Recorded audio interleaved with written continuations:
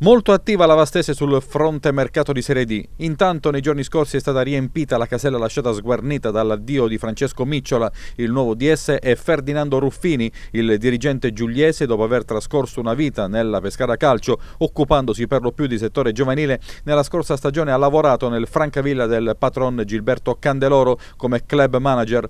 L'esperienza si è interrotta, anche se i rapporti con Candeloro sono rimasti cordiali. Come cordiali da svariati mesi lo sono i rapporti tra il presidente della Vastese Franco Bolami e lo stesso Candeloro. Così non sorprende la scelta Ruffini, che ora, assieme al neotecnico Ottavio Palladini, avrà modo di pianificare la prossima stagione in una piazza che vive di calcio, che ha disputato due positive stagioni, ma entrambe contraddistinte da un grande inizio ed un vistoso calo nel girone di ritorno. Un trend possibilmente da invertire. Il primo acquisto è stato quello dell'esperto difensore classe 91 Pietro Maria del Duca, che ha ampi trascorsi tra Serie C e Serie D e lo scorso anno ha indossato la maglia del Campobasso.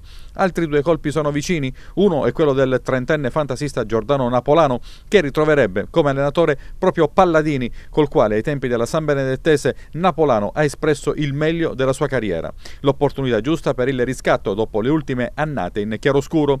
L'altro è Filippo Bellini, mediano classe 98, reduce dal successo nell'ultimo campionato con la Vispesaro potrebbe raccogliere l'eredità lasciata da Pizzutelli.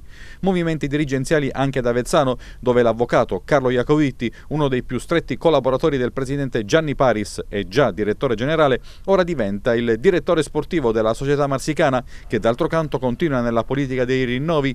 In questa settimana è toccato al centrocampista Lorenzo Bianciardi e ai gemelli Morgan e Denis Besana. Infine resta piuttosto difficile la situazione all'Aquila. Il manager romano Gianluca Ius vorrebbe stringere i tempi, ma chiede chiede aiuto anche al tessuto economico e bancario della città. Così il Comune vuole vederci chiaro e ha chiesto allo stesso IUS, nelle prossime 48 ore, ulteriori delucidazioni sul suo progetto di rilancio della società aquilana. Chiarezza che vogliono anche i tifosi, per nulla tranquillizzati dalle ultime esperienze calcistiche dell'imprenditore romano.